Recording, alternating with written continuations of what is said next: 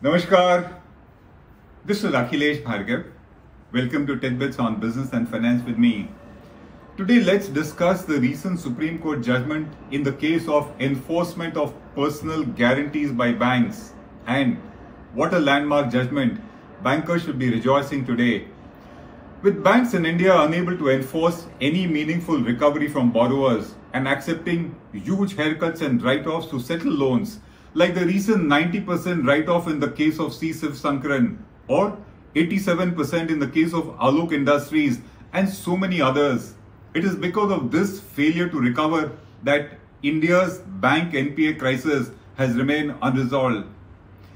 In the growing majority of cases, defaulting companies have got poor and bankrupt mainly because their fraudulent promoters siphoned away their funds and cheated the companies as well as the lenders too. The fact, however, is that these truant promoters of company who cheated them have often given their personal guarantees to the banks. And therefore if the lenders were to have seized the personal assets of these guarantors as well as the assets of the company then a significant portion of bank loans would have been recovered and the crisis could have been solved.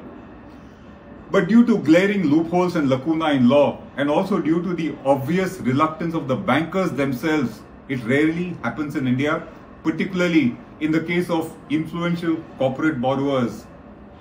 It has been a weak law and also its near absence that has facilitated such banking crimes and non-recovery of loans, which according to us has minted fraud tycoons in India. Till the debt recovery tribunals were formed in the late 90s, the process of recovery of a bank loan from a defaulting borrower was very slow and difficult. It was so not just because of the nature of the laws and, of course, the way the judiciary functions, but also because very often the corrupt bankers wanted the recovery to be slow because they were involved in that kind of fraud lending. The DRTs and the SARFAESI Act were expected to improve the recovery of loans by banks in a time bound manner, but that never did happen. Moreover, even if recovery was made from a defaulting corporate, it was however not made from the promoters, though they had given their personal guarantees for the loans taken by the company. That's because there was no clear law truly to drag a promoter guarantee into his insolvency and enforcement of recovery of the loan. This in effect meant that the delinquent promoters whose malpractices, siphoning and misconduct were generally responsible for the company's pathetic financial situation and bankruptcy and from whom the recovery should have actually been made first.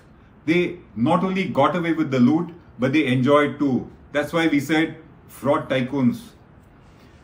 The Insolvency and Bankruptcy Code of 2017 was expected to resolve this anomaly by authorizing and initiating simultaneous recovery and insolvency proceedings against the defaulting company and its promoter guarantors too. But under the law, as it was till 15th November 2019, the IBC could initiate insolvency and recovery action only against corporates and against corporate guarantors, but not against those persons, those individuals who had stood guarantee for loans given to corporates in their personal capacity.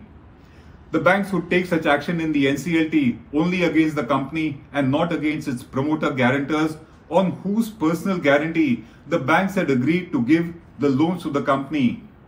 The NCLT under the IBC was therefore not empowered to take recovery action against the individual guarantors who are often the persons directly responsible for a company's sickness, a company's failure and bankruptcy, and also its consequent loan default.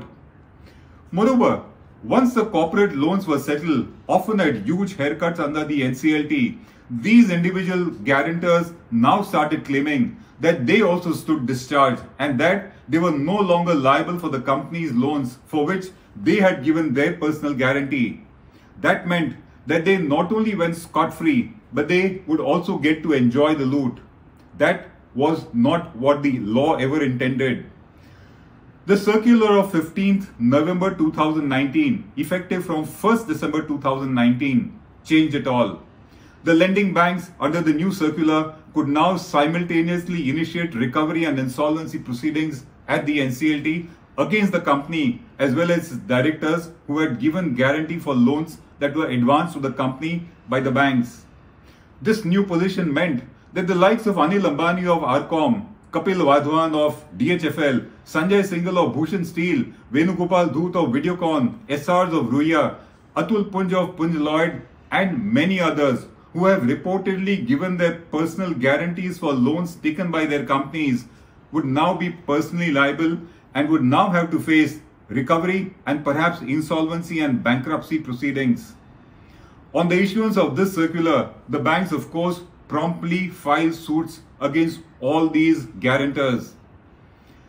With personal liabilities of tens of thousands of crores staring in their face, all these defaulters immediately rushed in writ petitions to the Supreme Court challenging this circular to be arbitrary, unconstitutional, discriminatory, and illegal, engaging a battery of top lawyers led by Sri Harish Salve. In a recent landmark judgment, the Supreme Court rejected these writs and held that the circular was legal and valid, and that the Supreme Court said approval of a resolution planned by banks to settle a loan, whether by way of a one time settlement or takeover of the company, etc., will not discharge, extinguish, or bring the personal guarantee of the guarantor to an end. And the personal guarantor is not going to be discharged from his personal guarantee, even if the loan got settled in any manner. Thus, even after settling dues with the company, the banks can now chase the personal guarantee, the personal guarantor for the balance dues that are now recoverable by them. The second thing that the Supreme Court said was that the liability of these guarantors is joint, several, and coextensive with that of the borrowers, and it can be invoked by the lenders simultaneously and whenever they choose, choose to do so. They can have parallel recovery proceedings against the corporate as well as the individuals who had given guarantees for these loans that were given to them. In other words, they are personally and directly liable for the corporate debt for which they had stood guarantee. This, as we said, is a significant landmark judgment for the banking industry. No wonder bank stocks went up the very next day on the stock markets. The larger picture that emerges from this judgment henceforward is extremely encouraging for the banks according to us. And the reasons for this picture being encouraging are many. The first reason, with personal fortunes of these guarantor promoters now at stake, it will serve as a deterrent to fraudulent promoters from indulging in siphoning of funds and bankrupting their companies and cheating banks. They are now going to be personally responsible. The second one, in case of a default, bankers will often prefer to now hound the guarantors first than the company itself and the promoters will prefer to somehow arrange the funds and repay the loans rather than risk their personal assets and their personal fortunes. The third, with the personal wealth of promoters now at stake, in the case of corporate default, the recovery by banks will be much better and much faster. They now have what is called the benefit of double dip, recover from the corporate and also from the guarantor. The fourth, much better and competitive settlement bids will now be received in the NCLT for the takeover of companies. It will maximize the value of sick assets and enterprises which are being resolved by the IBC through the NCLT. The fifth one, henceforward, for the recovery of loans from corporates, the banks will file simultaneous insolvency proceedings against the company and its guarantors too with the insolvency and bankruptcy of the company and its guarantors being handled in the same court, that is in the NCLT, even the resolution of cases will be faster. The drag of the judiciary will be much lower. The sixth point, as we see it, to ensure viability of companies, lenders will be willing to give higher haircuts in deserving cases to those corporates where they will survive if they are given a higher haircut and where the bank is very clear that it can do additional recovery of the balance amount from the personal assets of the guarantors to those loans. It will ensure that more viable companies survive and they are not liquidated. The seventh one, it will fix the personal responsibility of those who managed the company and bankrupted it and they will not be able to walk away from the scene rich and prosperous with the loot as they have always done so far in India. To conclude, as one expert commented, this action against individual guarantors was a missing piece in the recovery process of banks and with this in place, their recovery should be much faster and much better. Except, as we would say, in the case of maybe recoveries from cronies of the system. Because cronies of the system thrive in business as well as in bankruptcy. And it is they who are responsible for India's banking mess to a large measure. And we think they might still go unpunished despite this judgment of the Supreme Court. This is Akhilesh Bhargav signing off till we meet again. Namaskar. Hello everyone. HW News English is two years old now. When we started this venture, we promised ourselves one thing that news should remain free because right to know is the right of every Indian. But to keep news free for everyone, we need support from some of you. And thus, we have rolled out membership on our YouTube channel HW News English. But mind you, the membership is completely voluntary.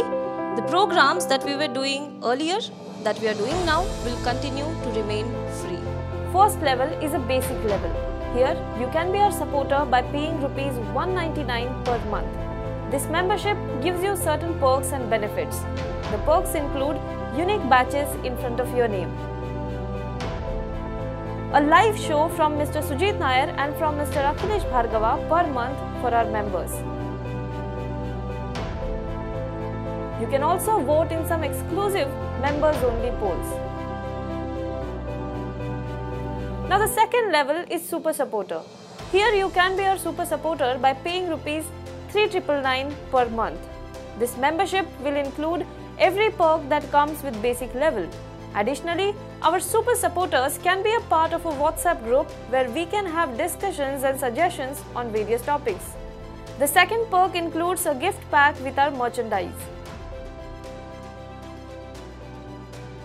And the third perk is a Google Meet with Mr. Sujit Nair where you can join the meet and ask your questions to Mr. Nair face to face. Lastly, if you like, we would give a shout out to our super supporters in our programs. So, hope to see you soon with our badges.